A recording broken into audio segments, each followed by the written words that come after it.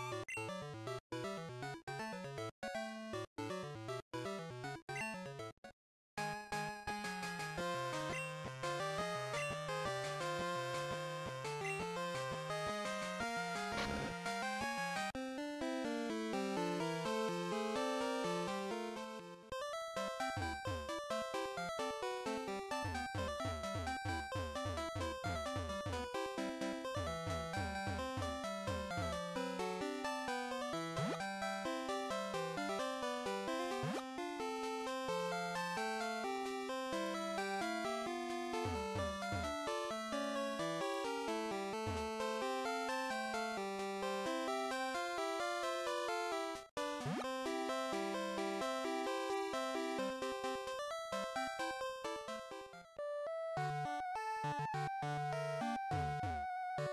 っ?